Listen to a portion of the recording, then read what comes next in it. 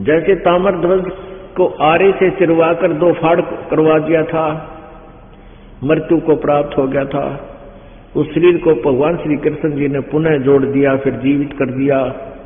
क्योंकि तामर ध्वज के श्वास शेष थे, उसकी जीवन शेष था, वो भी उसकी आयु बची हुई थी। इसलिए श्री कृष्ण जी ने उसको जीवित कर दिया। और अभिमन्यु के प्रारंभ में आगे जीवन नहीं था, उसकी इतनी ही आयु थी। इसलिए श्री कृष्ण जी उनको जीवित नहीं कर सका। अभिमन्यु को जीवित नहीं कर सके, जबकि अति आवश्यक थी। जब वहाँ जाकर तो पंगा लिया उन्होंने, वो चिरवाया और फिर जीवित किया। और यहाँ आवश्यकता थी, अपनी बहन रोए सारा कुंडवा रोए उनका कुल नाश हो रहा था। और वहाँ जीवित नहीं कर सका, क्योंकि ये नहीं कर सकते।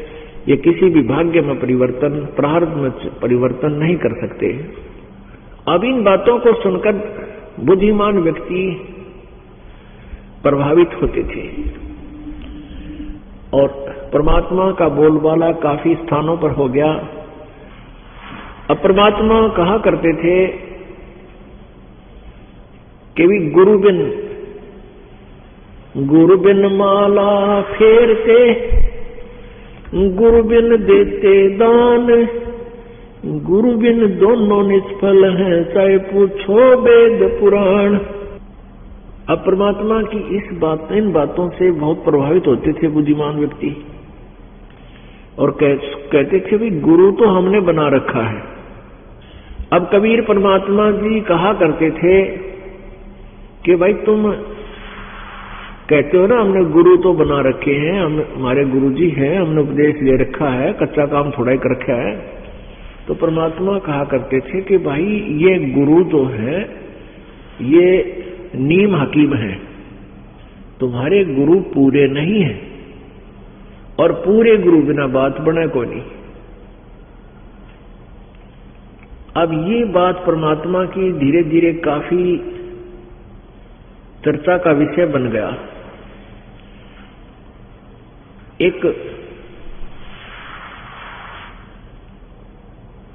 गुजरात के अंदर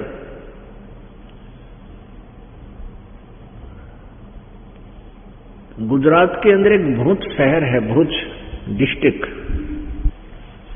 और भरूच डिस्ट्रिक्ट से 12 किलोमीटर लगभग एक मंगलेश्वर गाँव है। और वहाँ पर ये नर्मदा नदी एक टापू बना देती है। ज़मीन का एक 800-900 एकड़ का जो क्षेत्र है, उसके चारों तरफ़ से, यानी दोनों तरफ़ से जाके आगे मिल जाती है। उसको अपने घेरे में डाल रखे उसको टापू बोलते हैं। तो उसके अंदर एक, उसके अंदर 30-40 घरों का गाँव था। पहले छोटे छोटे झोपड़ियाँ होया करती थी और जल का आसरा लेकर ही वो वहाँ रहा करते थे। तो उसके अंदर उस टापू में अर्थात 800-900 एकड़ जो जगह थी, वहाँ पर 30-40 घरों का एक गाँव था। और उसमें जीवा दत्ता नाम के दो ब्राह्मण भाई रहा करते थे। और भी ब्राह्मण परिवार थे उसमें अब वो जीवा और तत्वा, उसको दत्ता भी बोल देते हैं, तय को दय भी बोल देते हैं। तो हम संत संत लैंग्वेज में जीवा और दत्ता बोलते हैं। वो बहुत परमात्मा के चाहने वाले थे। परमात्मा की चाह के अंदर वो इतने मगन थे? कि जगह जगह जाते थे, संतों के सत्संग सुना करते थे। अब जहाँ भी वो जाते थे तो ये बताया जाता था कि गुरु बिन मोक्ष नहीं हो सकता। और फिर ये भी कहते थे कि पूरा गुरु हो, क्योंकि परमेश्वर कबीर जी से भयभीत होकर के वो सभी संत, मंडलेश्वर, ब्राह्मण, ऋषि, ये शब्द भी कहने लगे थे कि अभी गुरु पूरा हो।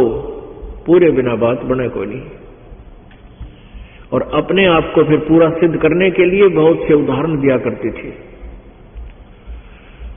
तो जीवा दत्ता जी दोनों भाई परमात्मा के प्राप्ति के लिए मोक्ष कराने के उद्देश्य से संतों के पास जाते, उनके विचार सुनते और सभी ये शब्द बोलते, यही वचन कहते कि गुरु बिन मोक्ष नहीं।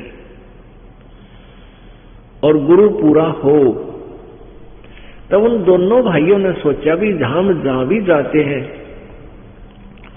जिस भी ऋषि महर्षि के संत के, मंडलेश्वर के, गुरु के, ब्राह्मण के वचन सुनते हैं, हमने तो वो सारे अच्छे लगे हैं। यानी प्रत्येक संत ज्ञान देता है, भगवान की चर्चा करता है, हमें तो सभी अच्छे लगते हैं। लेकिन ये पहचान हम कैसे करें कि इनमें पूरा कौन सा है? सभी अपने आप को पूरा बताते हैं। इनकी वे ऑफ़ वर्शिप भिन्न भिन्न है। इनके ज्ञान में भी अंतर है। तो ये कैसे निर्णय करें कि गुरु पूरा है? तो उन्होंने सोचा भी, देखो, मनुष्य जीवन मिल बार बार मिला को नहीं क्योंकि ज्ञान जो सत्संग सुनाया जाता है, जो जहाँ भी कोई सुनाता है तो यही कहते हैं कि मानुष जन्म बार बार प्राप्त नहीं होता। चौरासी लाख योनियों के अंदर धक्के खाकर, दुख उठा करके एक बार मानव शरीर प्राप्त होता है। और मानव शरीर प्राप्त करके परमात्मा की भक्ति नहीं की तो जीवन व्यर्थ हो जाता है।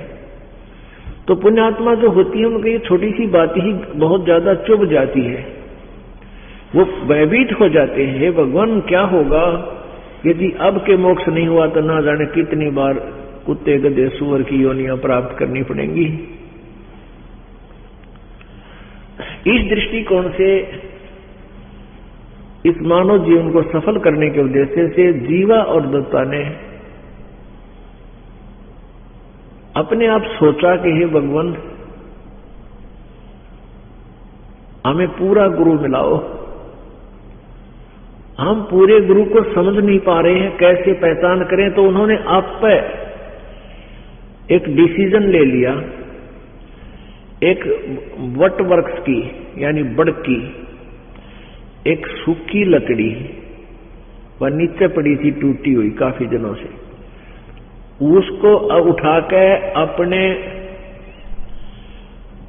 आँगन में, जैसे पौधा लगाया करे जो बना के गड्ढा खोज के और उसमें लगा जीवा गाइड जी।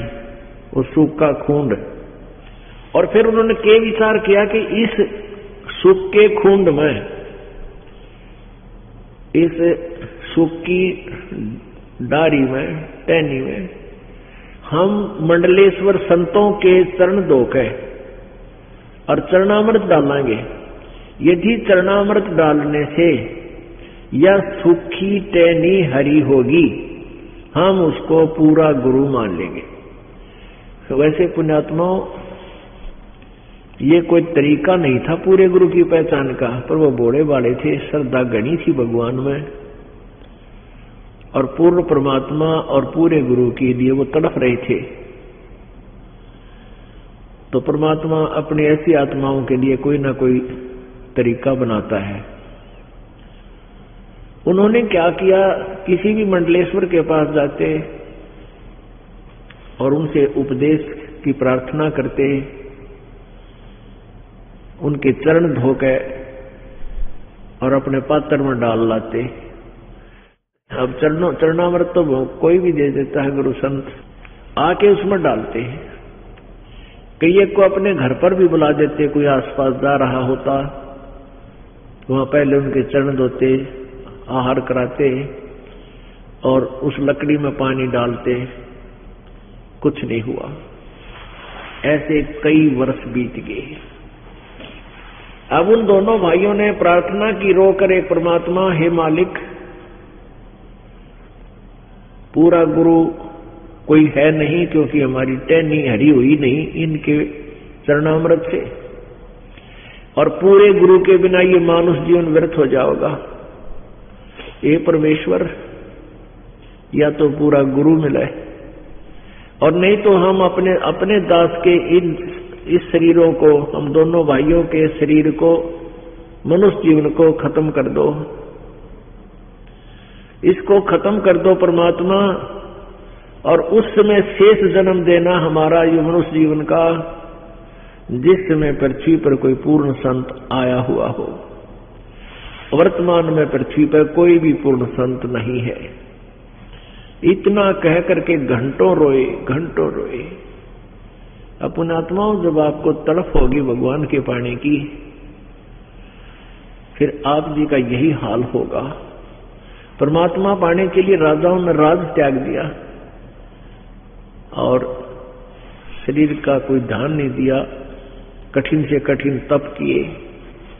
तो उसी सतीथि, ये सतीथि उन्हीं पुण्यात्माओं की होती है जो पुनर्जन्म से भी भक्ति करते हुए आ रहे हैं। कहते हैं, संतों से ती साधा से ती मस्करी और चोरा नाल खुशाल, ये तो मल अखाड़ा जीतेंगे युगन युगन के माल ये जो निकमी आत्मा है, वो संतों के साथ बदमाशी करते हैं, मज़ाक करते हैं, उनको तंग करते हैं। और उन चोरा नाल खुशाल जो नकली संत हैं, बकवास करते फिर हैं, उन तरह जी रहे उनके साथ प्रसन्न रहते हैं। और कहते हैं, मल अखाड़ा जीतेंगे, ये युगन युगन के माल। माल मीन रेसलर, पहलवान। पहलवान वही होता है जो पहले एक्सरसाइज करता है प्रैक्टिस कर रहा होता है। तो आप कई जन्मों से ये रिहर्सल करते आ रहे हो आप कई जन्मों से भगवान के अखाड़े के माल हो, पहलवान हो तो ऐसे ही वो जीवा और दत्ता भी, वो युगन युगन के माल थे। उन्हीं में ये प्रेरणा होती है परमात्मा के पाने की, जैसे मीराबाई युगन युगन की माल थी। ना समाज देखा, केवल भगवान देखा, चाहे कुछ भी हो, मारो चाहे छोड़ो। तो ये माल होते, ये पहलवान थे मालिक के पाड़े के। और सफल हुए।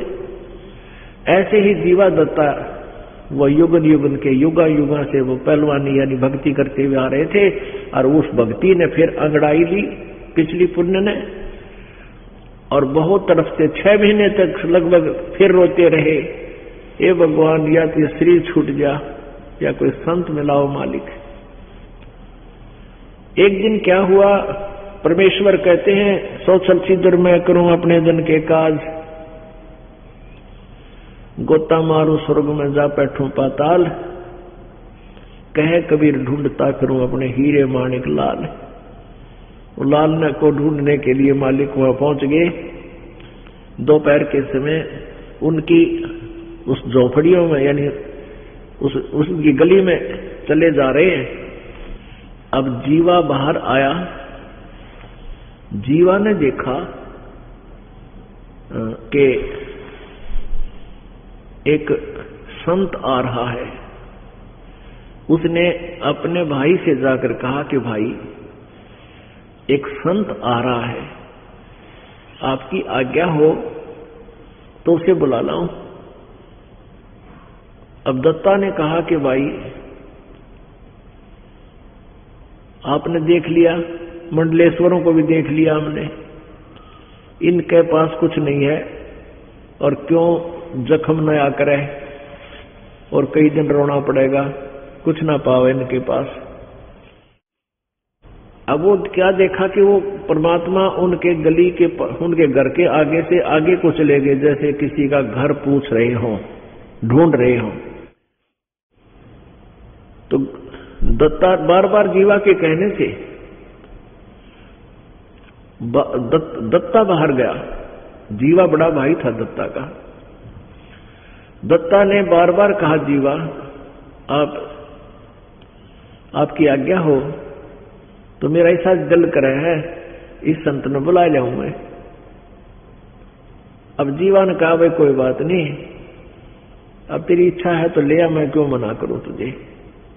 देख ले, वो वापस गए तो परमात्मा फिर वापस आ रहे हैं उनके घर की तरफ़। वापस जैसे घर, गाँव से बाहर जाने वाले हों तो दत्ता ने जाके चरण पकड़ दिए और कहा, परवरदिगार, ये दास की झोपड़ी है। एक बार दर्शन दो, पवित्र करो दास की कुटिया को। परमात्मा बोले, चल भाई आ गई अंदर। जैसा भी घर पर व्यवस्था थी, कोई बैठना मुड्डा दे दिया, कोई छोटा सा सटूल और जीवा ने कहा, दत्ता, जा, कोई तसला ला उठा के थाली ला, थाली प्रांत ला।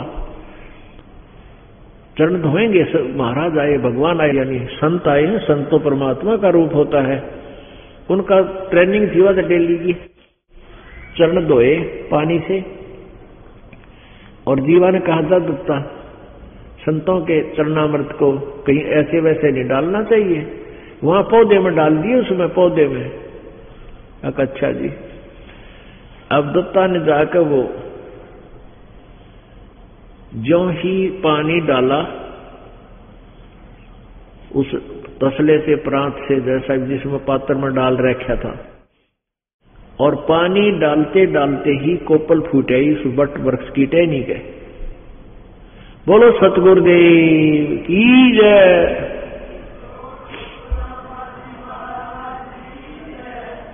अब दत्ता ने आवाज़ लगाई, जीवा दौड़ के आना, जीवा जल्दी आ।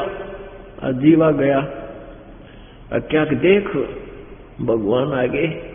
आज जिसकी चाह थी वो मिल गया हमारे को। अब देखे, थोड़ी देर में पूरी कोपल फूट गई हुए इतने लंबे लंबे पत्ते हो गए, सूखी टेनी गए। अब दोनों ने एक एक पैर पकड़ लिया। एक एक पैर पकड़ लिया रोआ बुरी तरह मुँह की तरफ़ देखे, भगवान आप कहा छुपे थे?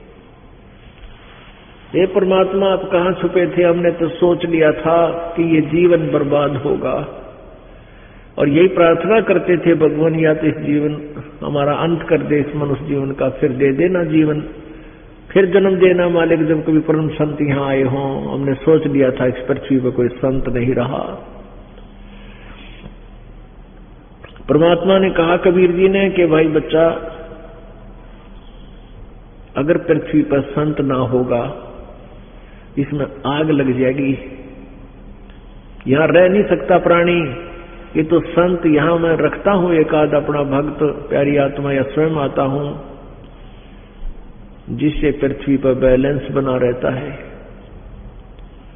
और बेटा, जब पृथ्वी पर संत नहीं होगा तो इसमें आग लग जाएगी, पूरी पृथ्वी कट कर मर जा आपस में इतना बुरा हाल हो जाएगा। तब उन्होंने कहा कि हे परमात्मा, हमने तो आपकी बहुत इंतज़ार करी आप नहीं आते तो हम छह महीने और ज़्यादा जीवित रहते, क्योंकि सूख का काटा हो गए थे, और उनका जो है बुरा हाल था। अब दोनों ने उपदेश लिया। अब उपदेश लिया, ज्ञान सुना, सबसे न्यारा ज्ञान और सबसे न्यारा भगवान। उस ज्ञान से परमात्मा आते रहे, उनको ज्ञान सुनाते रहे, आते रहे, ज्ञान सुनाते रहे, कुछ दिनों में वो ज्ञान से परिपक्व हो गए। वो उस ज्ञान को फिर सुनाने लगे अपने ब्राह्मण वर्ग में। अब ब्राह्मण वर्ग तो राम और कृष्ण तो परमान्य को नहीं। शिव जी तो ज़्यादा किसी की सुने नहीं, भैरव भूत की भी पूजा करवावे। अब उन्होंने पूछा भी तुमने गुरु कौन बना लिया? ऐसा नास्तिक जो अगर मैं विष्णु में इससे भी अलग कोई भगवान बताता है। तो उन्होंने बताया कि बनारस में, काशी में हमारे, यानी परमात्मा ही आए हुए हैं, वो पूर्ण ब्रह्म है। पूर्ण परमात्मा है, कबीर जी। परमात्मा आएँगे, तुम्हें मिलवाएँगे। तो परमेश्वर फिर आगे अपने भक्तों को संभालने के लिए जीवा दत्ता ने गाँव वालों से कहा कि आ जाओ, आज भगवान आए अब ज्ञान तो सुना नहीं, शुरू से ही पूछने लगे, तू कौन है? तेरी जाति क्या है? वो ब्राह्मण लोग बोले, तूने हमारे भाइयों को, हमारे धर्म के लोगों को मिसगाइड कर दिया है। तू मुसलमान है या क्या है? परमात्मा ने कहा, जात ना पूछो, संत की पूछ लीजिए ज्ञाने।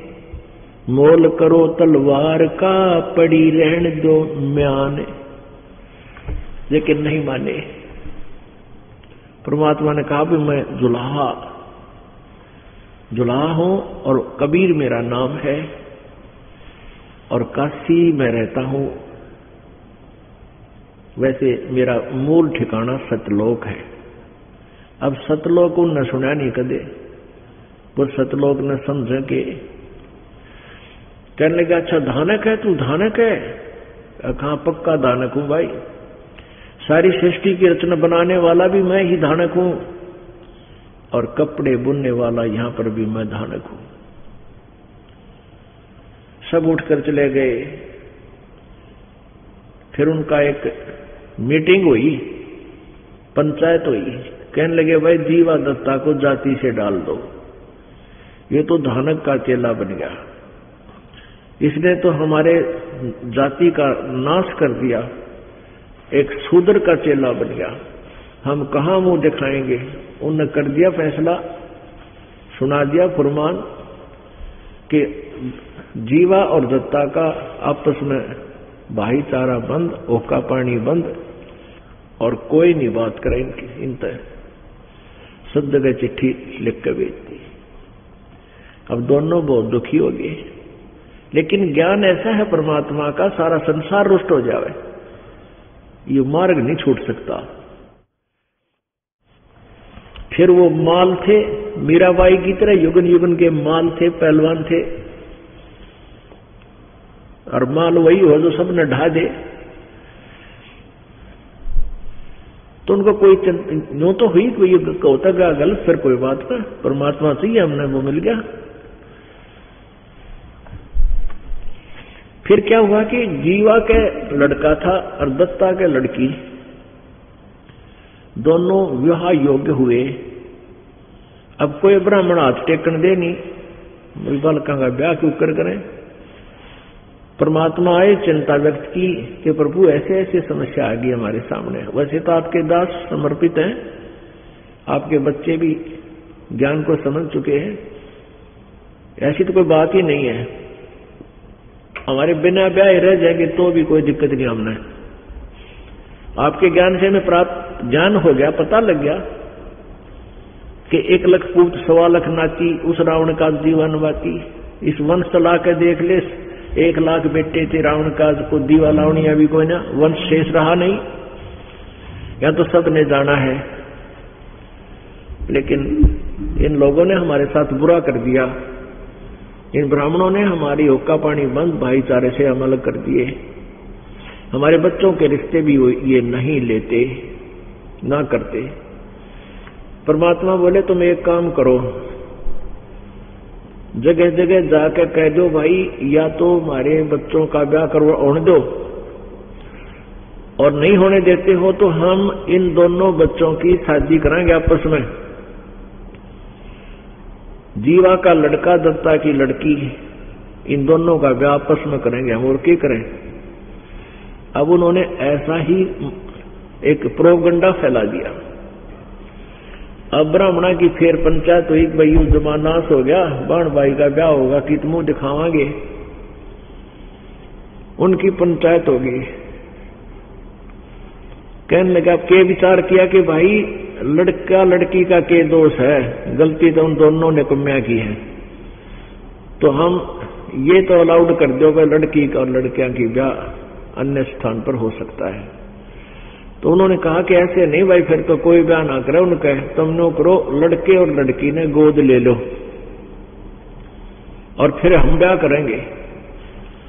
तो वो आए सारे इकट्ठे होकर कि खबरदार जो तुमने आपस में ऐसा दीन भ्रष्ट किया तो और ये लड़के, लड़की तो हमारे हैं। ये लड़का, लड़की हमें दो, हम इनको गोद लेते हैं, हम शादी करेंगे इनकी कितना करें ढंग से। तुमने इससे कोई लेना देना नहीं। वो बोले, ठीक से ले जाओ, तेरे लड़का, लड़की ने। वह समस्या भी हल कर दी, ब्याह आई भी परमात्मा ने।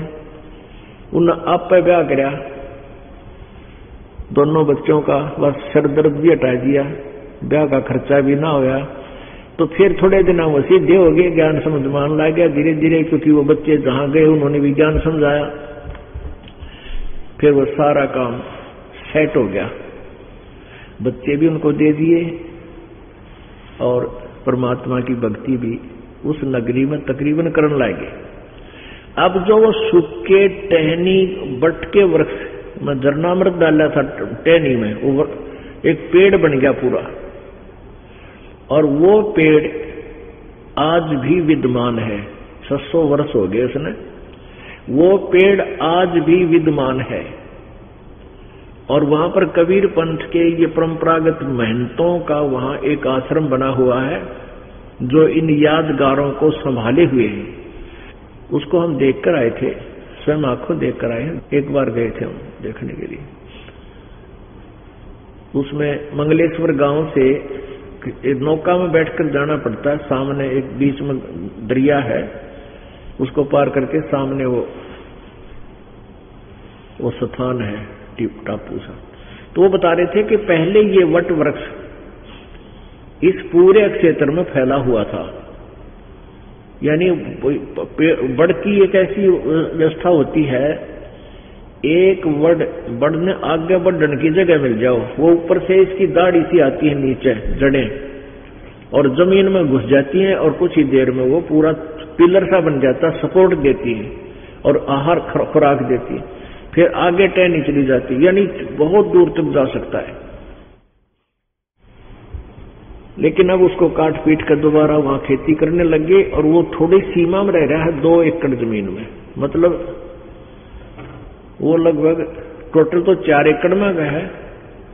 यानी दो एकड़ ऐसे बढ़ रहा है, सेंटर से नो दो एकड़ नो दो एकड़ तो ऐसे चार पाँच एकड़ में अब भी वो विद्यमान है। शेष बचा हुआ बड़ी बड़ी दाढ़ी उसके नीचे गड़ी हुई बड़े बड़े पेड़ हो गए ऐसे ऐसे। तो वहाँ वहाँ महंत है, उनसे भी पूछा, वहाँ के गाँव नगर वालों से भी पूछा। तो उन्होंने यही बताया कि ये कबीर परमात्मा जी या जीवा दत्ता नाम के दो भाई ब्राह्मण भाई रहते थे। उनको ज्ञान दिया था, उन्होंने एक शर्त रखी थी, उस कारण से ये, वह सुख के वृक्ष की टहनी, ये पेड़ रूप धारण कर गई आज भी वे प्रमाण वहाँ विद्यमान है। पुण्यात्माओं, परमात्मा हमें यही बताते हैं कि पूरा तो गुरु हो और फिर सत्संग अवश्य अटेंड करे। उस संत के फिर चरणों से दूर ना हो। परमात्मा पाने के कुछ फार्मूले बताए हैं। द्वार धनी के पड़ा रहे, धक्के धनी के खावे। सौ काल चक जोल ही पर द्वार छोड़ ना जावे। ये दूसरा फार्मूला, एक तो है कि पूरे गुरु हों फिर गुरु जी की शरण में आने के बाद छोटे मोटी आपत्ति यदि आ भी जावे परमात्मा के द्वार से दूर नहीं हुए। द्वार धनी के पड़ा रहे और धक्के धनी के खावे, सौ काल झकझोल ही द्वार छोड़ दी जाए। सत्संग परमात्मा के चरणों से, शरण से दूर न होए। आदरणीय गरीबदास साहिब जी, छुडानी के अंदर, गाँव छुडानी, जिला झुंझर, हरियाणा प्रांत, इसमें गरीबदास साहिब जी का जन्म सन 1717 में हुआ और परमेश्वर पूर्ण ब्रह्म सन सन 1518 में सह शरीर मगर स्थान से मगर नगर से मगर गाँव से सह शरीर गए थे सतलोक में। और सन सत, सन 1518 से के बाद सन 1717 में अर्थात 100 गरीबदास जी का जन्म हुआ। सन 1727 में परमात्मा फिर वापस सतलोक से आए और गरीबदास जी को मिले। लगभग 209 वर्ष बाद सतलोक जाने के 209 वर्ष के उपरांत वो परमात्मा फिर यही लीला करने के लिए संत गरीबदास जी जब 10 वर्ष के बालक थे, अपने ही नाना के खेतों में गव्य चरा रहे थे, पाली थे, और भी बहुत से गवाले थे, पाली थे, वहाँ आकर के मिले थे। गरीबदास जी ने परमात्मा से आहार करने की प्रार्थना की थी उन पालियों ने जो गवाले थे। आहार नहीं किया प्रभु ने, कहा था, मैं तो कहा था कि दूध पी लो परमेश्वर ने कहा कि दूध मैं कंवारी गाय का पीता हूँ। एक कंवारी गाय लाए, उसकी कमर पर थपकी मारी। परमात्मा ने, कबीर जी ने, जो एक साधु वेश में थे, ज़िंदा महात्मा के वेश में थे। उस गाय के कुंवारी बछिया के अपने आप दूध निकलना शुरू हो गया। नीचे एक छोटा सा मटका पात्र था। साफ़ किया हुआ वो लगाया, वो दूध का भर गया। फिर अपने आप सतनों से दूध निकलना बंद हो गया। आधा कबीर जी ने पिया, परमेश्वर ने, आधा गरीबदास जी ने पिया।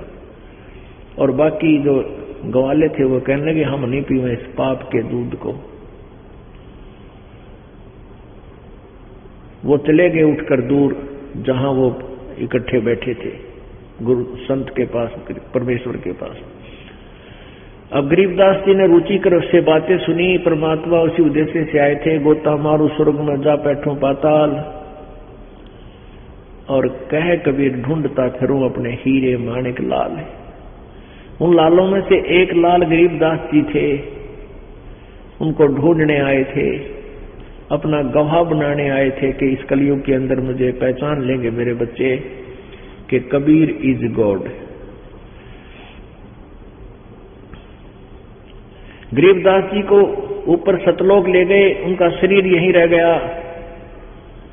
आत्मा ऊपर ले गए, सब ब्रह्मा, विष्णु, महेश की सचिथि से परिचित कराए कि ये ब्रह्मा जी का लोक, ये विष्णु जी का लोक, ये शिव जी का लोक, ये स्वर्ग इंद्र का लोक, ये नरक लोक, यहाँ प्राणियों की ऐसी ऐसी दुर्गति होती है, ब्रह्म लोक, काल दिखाया पर ब्रह्म का लोक दिखाया, फिर सतलोक लेकर गए।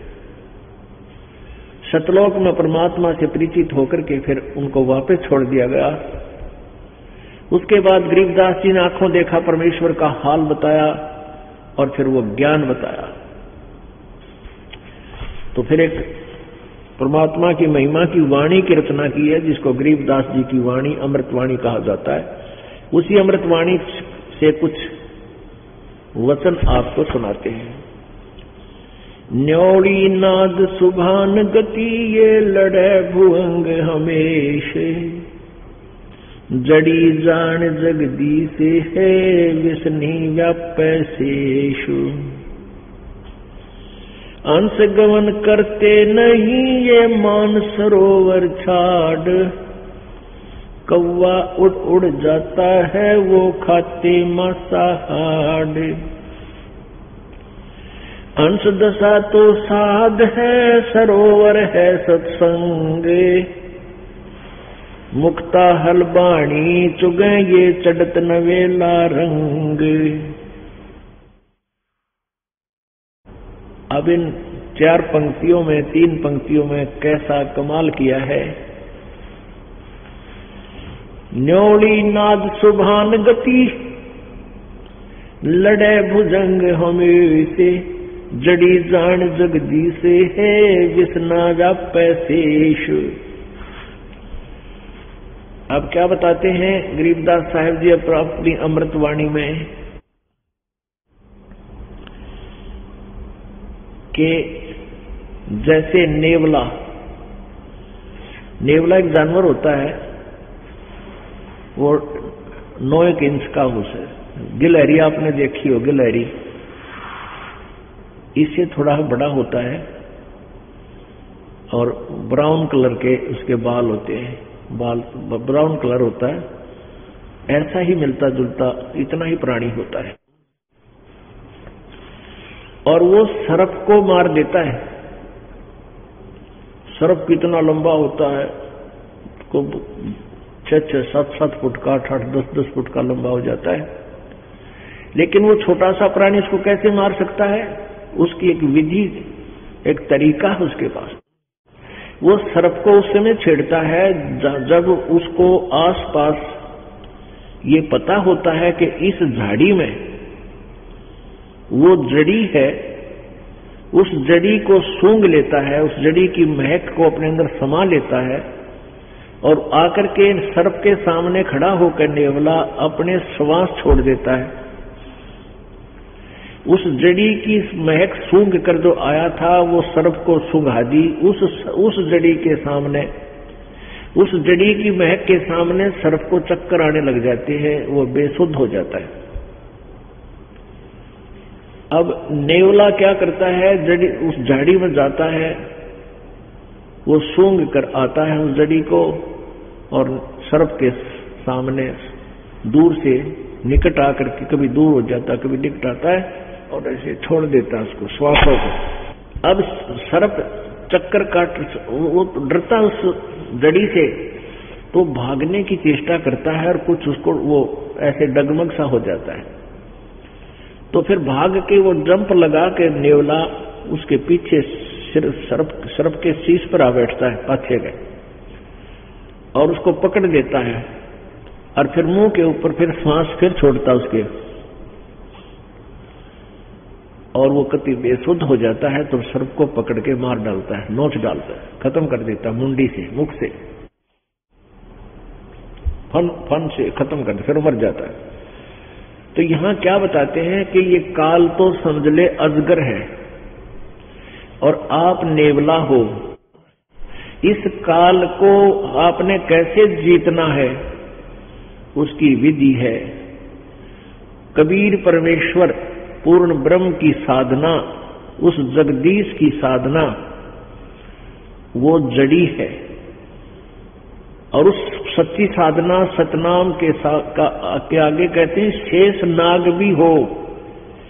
यानी यहाँ के जो छोटे मोटे काल के व्यवस्थक अनुचर ये देवता भैरव भूता जी इनका तो कहना के है अगर इस नाम के सामने वो काल भी आ जाएगा तो भी उसकी नहीं बसावेगी तुम्हारे सच्चे नाम के सामने मर्यादा से भक्ति करने वाले।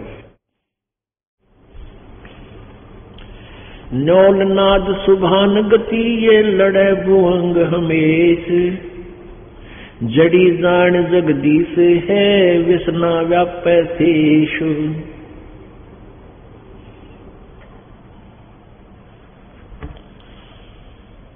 और फिर क्या उदाहरण दिया है? अंश गवन करते नहीं ये मान सरोवर छाड़े। कव्वे उड़ उड़ जाते हैं, ये खाते हाड़े। अंश दशा तो साध है, सरोवर है सत्संग। मुक्ता हलबाणी चुगे, फिर चढ़े नवेला रंग। हंस जो होते हैं संत मते में हंस किसे कहते हैं? हंस वो भक्त है जिसने दूध और पानी छान लिया। यानी सत असत का जिसने निर्णय कर लिया। बीड़ी, शराब, मांस, तंबाकू, चोरी, ठगी, जारी, वकवादों से परहेज कर लिया। एक हंस पक्षी होता है आपने बुगला बहुत देखे होंगे, बुगले। जो तालाबों के आसपास रहते हैं और वहाँ मछियाँ खाते हैं, मछली। उनने कुछ भी पा जा गुग्गे पा जा वो कीड़े मोकड़े भारत जैसे, शंख जैसे, उसके अंदर मांस होता जीव, उसको खा जा कौवे भी ऐसे खाते हैं, कौवे भी मांस खाते हैं को मछली ठहगी उसने छोड़ना। नहीं ऐसे कीड़े मकोड़े खाते हैं। तो कहने का भाव ये है कि जो हंस होता है, हंस पक्षी, वो उस मान सरोवर को जहाँ पर मोती होती है, वो मोती खाता है। और बुगले जैसा होता है, अन्य पक्षियों जैसा ही प्राणी है, लेकिन वो मच्छी नहीं खाता घोगे नहीं खाता, कीड़े मकोड़े नहीं खाता। वह केवल मोती खाता है। और एक गुण है उस हंस पक्षी के अंदर, वो अगर आप उसमें एक गिलास दूध में एक गिलास पानी डाल दो और वो दूध दूध पी लेगा, पानी उसी पात्र में से छोड़ देता है। मालिक ने ऐसी कृपा, ऐसी कोई उसके अंदर गुण दिया है कि दूध और पानी को अलग कर लेता है, जल को छोड़ देता है, दूध को पी जाता है। तो पुण्यात्मा सत्हंस उसी को कहा है जो कोई बुराई नहीं करते चोरी ठगी नहीं करते चोरी जारी नहीं करते किसी की आत्मा नहीं दुखाते बीड़ी शराब मांस तम्बाकू नहीं कर, प्रयोग करते और वह जिन्होंने दूध और पानी छान लिया कि किस भगवान की भक्ति से कितना लाभ है और यहाँ काल के लोक में हम कितने दुखी हैं। हम स्वर्ग, महास्वर्ग में भी चले गए तो भी मृत्यु होगी जन्म मृत्यु का रोग नहीं कट सकता। तो उनको हंस कहते हैं। कहते, हंस गवन करते नहीं, मान सरोवर छाड़े और कव्वे उड़ उड़ जाते हैं, वो खावे मासा हाड़े हंस दशा तो साध है और सरोवर है सत्संगे। मुक्ता हलबाणी चुगे फिर चढ़े नवेला रंगे। जो हंस होते हैं, अच्छी आत्मा होती है, वो सत्संग छोड़कर नहीं जाते। हैं ये सत्संग तो समझो एक तालाब है, सरोवर है, और आप जी हंस हैं, साध सोए जो सीधा चले। सब बुराइयों को छोड़ दे, भगवान की भक्ति करे। परमात्मा में ध्यान रखे, वो साध होता है। परमात्मा बार बार कहते हैं, कहे कबीर सुनो, भाई साधो यानी, हम तो साधु जा करते हुए डड़े ढोंगे, कान पड़वा रहे डाढ़ी बढ़वा रहे जंगल में धक्के खावे। वो साध नहीं, साध तो वे जो सही भक्ति करे सत्य भक्ति करे। बुराइयों तो बचकर है, वही मनुष्य साध है। तो क्या कहते हैं, हंस दशा तो साध है। आप जी तो हंस है और सरोवर है सत्संग, और यहाँ ये परमात्मा के मोक्ष मार्ग रूपी मोती आप चुग रहे हो, ग्रहण कर रहे हो। और चढ़े नवेला रंग, जितना ज्ञान सुनोगे उतनी आस्था मालिक में। और उमंग बढ़ेगी चाहे सारा संसार एक तरफ़ और भक्त एक तरफ़। आप फिर इस ज्ञान से दूर इस सत्संग इस सत्संग को छोड़कर, इस दास को छोड़कर आप कहीं नहीं जा सकते। और जो यहाँ से छोड़कर जाते हैं, उनके बारे में कहा है, वो तो कव्वे उड़ उड़ जाते हैं। जो खाते मासा जिन पर बुराई नहीं छूटती, लालच लोभ नहीं छूटता, वो जाया करें वो कव्वे हैं, वो हंस नहीं बने। हंस गवन करते नहीं मान सरोवर छाड़े। हंस नहीं जाया करते मान सरोवर ने छोड़कर जहाँ ऐसी मोती मिलते हैं। ये कव्वे उड़ उड़ जाते हैं, वो खाते मासा हाड़े हंस दशा तो संसाद है, ये सरोवर है सत्संग। मुक्ता हलवाणी चुगे फिर चढ़े नवेला रंग। आगे क्या बताया वर्तवाणी में? दरस परस नहीं अंतरा। दरस परस नहीं अंतरा रोमी वस्त्र बीच। पार्स लोहा एक डगिए पलटे नहीं अभीचे अपने आत्माओं, कितनी, देखो, वेदों और गीता को समझना बहुत आसान है। ये परमेश्वर का जो सूक्ष्म वेद है, परमेश्वर कबीर जी की महिमा से, की वाणी गरीबदास साहेब जी को परमात्मा ने अपना ज्ञान दिया कबीर जी ने। गरीबदास जी भी कहते हैं कि मेरा ज्ञान योग दिया, खोल। कबीर परमेश्वर जी ने मेरा ज्ञान रूपी योग खोल दिया। अर्थात मुझे वो अपना ज्ञान मेरे में फ़ीड कर दिया। अब उस ज्ञान के आधार से क्या बता रहे हैं गरीबदास साहेब जी ने? दर्श परस नहीं अंतरा, अरुमी बस्तर बीच पारस लोहा एक कंडेगे पलटे नहीं अभीच अब हंस और कौवे क्यों बन, बन गए? हंस तो ज्ञान को समझकर समर्पित हो गए वो तो बन गए हंस। और जिन्होंने मन दिया नहीं सत्संग में आते रहे बड़ी अच्छे श्रद्धालु दिखते रहे लेकिन आस्था बनी नहीं परमात्मा से गुरुदेव से उनका मेल नहीं बना। मेल का अर्थ ये नहीं होता कि आप आते हो सेवा भी करते हो साथ भी रहते हो सत्संग भी सुनते हो। लेकिन अंदर से जगह, अंदर से कनेक्शन नहीं बना, अंदर से कसक नहीं बनी। तो कहते हैं उनमें परिवर्तन हो को ना। जैसे एक लोह, एक पारस नाम का पत्थर होता है, पारस। एक पारस पत्थर है, पत्थर जैसा होता है सिंपल और उसको पहचानना सबके बस की बात नहीं, जैसे लाल को पहचानना। तो उस पारस का एक टुकड़ा, पत्थर हो, एक किलो का और उसको चाहे सौ टन लोहे का घिसा दे, एक स्थान पर टच कर दे, उसको अच्छी तरह उनका कति मेल हो जा। और फिर देखे, कहते उस पूरे पूरे के पूरे, उस मांस को, मंडल को, उस एक सरिये का ला दिया, सरिये को गार्डर का ला दिया, गार्डर को पूरे पूरे गार्डर के गार्डर को, थाम के थाम को सोना बना देता है। लेकिन कहते हैं परमात्मा ने लिखा, पारस लोहा, दरस परस नहीं अंतरा रूमी वस्त्र बीच अब लोहा और पारस कति साथ साथ रखे हैं और उन दोनों के टच होने में एक बिल्कुल इतना भी स्थान रह गया ना, जैसे कहते हैं रोम, रोमी वस्त्र। जैसे बाल, ये बाल है रोमकूप का।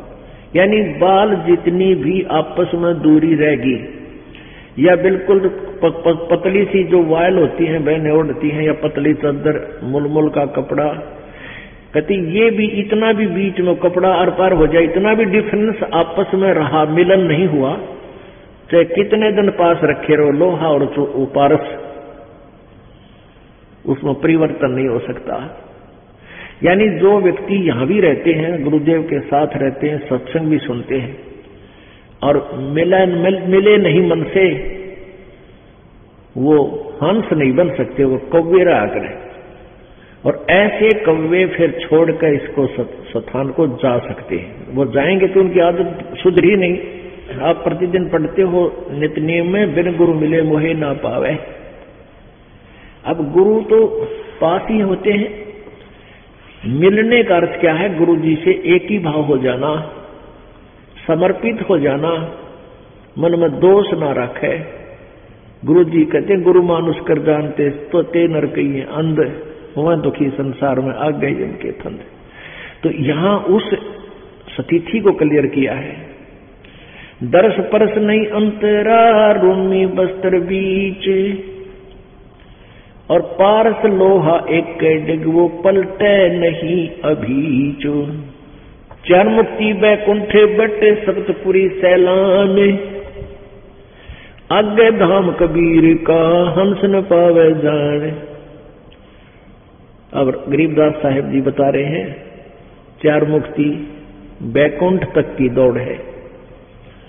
और शपथपुरी ऊपर अलग से एक अलग सात ऐसे इकट्ठा ग्रुप है सात उनका नगरी बनी हुई है, उनका एक एक राजा बनाया जाता है, जो अच्छी आत्माएँ होती हैं। कहते ये चौथी मुक्ति जो तुम साधना करते हो, मैक्सिमम चार मुक्ति प्राप्त होंगी और वहाँ इन सात नगरियों के राजा भी बन सकते हो कभी कभी कोई किसी का, कोई किसी का। इनसे आगे धाम कबीर का, आगे ऊपर हंस न पावे जान। यानी अच्छी आत्मा भी है, भक्ति भी कर रहे हैं, लेकिन गुरु जी से विमुख हो गए, वो फिर आगे नहीं जा सकते। कहते, इन बातें क्या पाई, ये कर सतगुरु नज़र निहाल। यानी गुरु जी की आवश्यकता, गुरु जी का सहयोग, गुरु जी को के चरण, शरण में आस्था इनका जो है ना, आखिरी श्वास तक तुम्हें सहयोग की आवश्यकता पड़ेगी। यदि आप जी इस दास के प्रति किसी कारण से भी कोई मन में दोष रखकर और दूर हो जाते हो, भक्ति भी कर रहे हो, फिर आगे नहीं जा सकते। क्योंकि आप इस दास के सेवक को अनुयायी को, इस दास से प्राप्त, इस लाइसेंस को, यानी पासपोर्ट जिसने मिल गया, मंत्र मिल गया, जाप मिला, नाम मिला, उस शिष्य को किरकुटी पर जाकर परमात्मा इस दास के रूप में मिलेगा। और आप जी हैं, जैसे आपका अंतकरण मिला हुआ इस दास से, जब भी दास बाहर आते हैं, आता है तो आपकी आँखें एकटक लग जाती हैं। कहाँ है खड़ू जी? कहाँ से खड़े हैं? तो वो ही दशा होगी वहाँ पर। और जिनके अंदर दोष होगा, चाहे वो वहाँ पर पहुँच गए हों तो वो पीछे न टड़ा करें अब छोड़ छोड़, पाँच साल पाँच साल। तो वहाँ उनको टाल देगा परमात्मा अपने आप। यानी जो स्वभाव आपका यहाँ बन रहा है, ये एक रिहर्सल कराई जा रही आपकी। दास तो एक आप जैसा ही है, आपका ही भाई बहन बच्चा, आपका गुरु ला लो। लेकिन इस दास को आपने परमात्मा समझ के अपना भाव बनाना है उस मालिक के चरणों में पहुँचने के लिए। ये एक इक्वेशन है। ये एक फार्मूला है परमात्मा के पाने का। कहते हैं, जैसे एक गणित का एक प्रश्न आता है, जिसमें मूल धन ज्ञात करना होता है, वो ऋण का होता है। तो मूल धन ज्ञात करने के लिए उसमें क्या मानना पड़ता? है मान लीजिए मूल धन सौ रुपए। उस ओरिजिनल मूल वास्तविक मूल धन को प्राप्त करने के लिए यानी प्रश्न का हल करने के लिए, सफल होने के लिए, पास होने के लिए हमने सबसे पहले मानना पड़ता, मान लीजिए मूलधन सौ रुपए। और फिर उससे हम उस वास्तविक मूलधन को प्राप्त करेंगे। वो सौ रुपये बहुत कम राशि होती है। और वास्तविक मूलधन करोड़ों में होता है। लेकिन करोड़ों वाला मूलधन पाने के लिए सौ रुपये मूलधन मानना पड़ेगा। इसी प्रकार ये दास को इसी स्थिति में समझो मान मान लो गुरु जी भगवान। दास भगवान नहीं, दास है। लेकिन आप जी को ये फार्मूला लाना पड़ेगा। और गुरु जी यहाँ भगवान है और भगवान इस दास के पास सामने हो तो आपकी कैसी बोली, कैसा रहना, कैसे विचार? जिस उस परम शक्ति को हम मिलने जा रहे हैं जिस महबूब से हम मिलने की तैयारी कर रहे हैं और वो मिल, सामने खड़ा होगा तो हमारी कैसी गतिविधि हो, कैसा हृदय में जगह हो, किस प्रकार का आचरण हो तो ये आपने इस दास के साथ रिहर्सल करके बनानी पड़ेगी। यहाँ कोई भी है, इस दास को आप आओगे, आते हो, मिलते हो तो ये सोचे कि हम भगवान से मिलने चले हैं। क्योंकि वहाँ त्रिकुटी पर आप जाओगे, इस दास के रूप में मालिक बैठे मिलेंगे। और आपके मन में, क्योंकि वहाँ तो किसी कहने की ज़रूरत को आपके अंतकरण की अलग से, अब आपके माथे पर बोर्ड लग जाएगा कि इसमें कितना दोष है, इसमें कितना दोष है। रिजेक्ट हो जाओगे वापस। और जो पास हो गए वो पास हो गए जिन्हों गुरु जी को, जैसा यहाँ आपका मेरे प्रति व्यवहार है, दास के, भगवान के प्रति आपका ऐसा ही होगा। तो यहाँ क्या बता रहे हैं? चार मुक्ति बैकुंठ बट सप्तपुरी सैलान आगे धाम कबीर का हंस न पावे जान। वानी जान पाओगे, वाणी जा सकोगे जब तक आप गुरु जी के प्रति पूरी श्रद्धा नहीं होगी। मौन रहे मग्नालय है ये मार्ग बंकी बाट। सुन शिखर गढ़ सुरंग है, कर सत सत कर सत गुरु से साठ। साठ माने सतगुरु जी से सौदा कर ले। और सतगुरु के बिना आगे नहीं जा पाओगे। मौन रहे मग्नाल है और मार्ग बंकी बाट और रास्ता बहुत टेढ़ा आगे का। सुन शिखर गढ़ में सुरंग है। ऊपर कहते एक ऐसी सुरंग में से निकाल के ले जाएँगे बहुर गुफा से। कैसे निकलोगे? कर सतगुरु से साठ। नौ लख नानक ना दे, मैं ये दस लख गोरख तीर। लाख दत्त संगी सदा, ये चरणों चरत कबीर। अब कबीर परमेश्वर की महिमा गरीबदास जी बताते हैं नौ लख नानक नाद में, और दस लख गोरख तीर। लाख दत्त संगी सदा, और चरणों चरच कबीर। क्या बताते हैं कि नौ लख नानक नाद में नानक जैसे महापुरुष, पुण्यात्मा, नौ लाख नानक नाद में, यानी इसी सी आत्मा तो लाखों हैं परमात्मा के चरण जो पार हुई हैं। और नौ लख नानक नाद में दस लख गोरख तीर और गोरख जैसे सिद्ध पुरुष परमात्मा ने यानी उनके सामने आकर के उनको भी अपनी हार माननी पड़ी और सत सतमार्ग ग्रहण करना पड़ा। लाख दत्त संगी सदा ये चरणों चर्च कबीर दत्तात्रेय जैसे भी। क्योंकि हम जिन महापुरुषों की गणिमय मान, मान बैठे हैं उन्हीं की नाम गिनाए जाते हैं कि ऐसे ऐसे तो उस परमात्मा के चरणों में कितने आकर समर्पित हुए। नौ लख नानक नाद में ये दस लख गोरख पास। अनंत संत पद में मिले ये करोड़ तेरे रविदास। अब कहते परमात्मा की शरण माने के बाद अनंत संत भक्त आत्मा सतलोक प्राप्त करिए, बहुत गुणे असंख्य। और करोड़ों रविदास जैसी पुण्यात्मा भी करोड़ों पार हो इस, उस तरह, यानी जिस जिस क्रिया में जैसे रविदास जी, कबीर जी के साथ बहुत निकट रहते थे, उनको पहचान चुके थे। कहते, इसे इसे संत भगत भी बहुत कबीर जी के हुए हैं और वो इस तरह भी पास पार हुए हैं। गोरख जैसे आकर वाद विवाद किया, उन्होंने फिर ज्ञान ग्रहण किया। इसे भी बहुत है जो परमात्मा के चरणों में लगे हैं। नानक जी जैसे भी को पार किया, जैसे बेई नदी से ले गए, उनके ऊपर शरीर को, आत्मा को सतलोक दिखाया सचखंड दिखा के छोड़ा। फिर भगवान को पहचाना, कहते ऐसे ऐसे इस तरीके से भी अपने बहुत से पार किए हैं। रामानंद से लक्ष्य गुरु, ये तारे सिसके भाई और चेलों की गिनती नहीं जो पद में रहे समाये कहते रामानंद से लक्ष्य गुरु। अब रामानंद जैसी आत्मा भी कहते उनका शस बने भगवान उनको इस तरीके से पार कर दिया। और चेल्या की तो गिनती नहीं जो सीधे नाम लेकर पार हो गए, जो मालिक के पद में रहे समय यानी सतलोक में भेज दिए। बोलो सतगुरुदेव परमेश्वर कबीर जी की असीम कृपा से ये पुण्यात्मा सत्संग सुन रही है।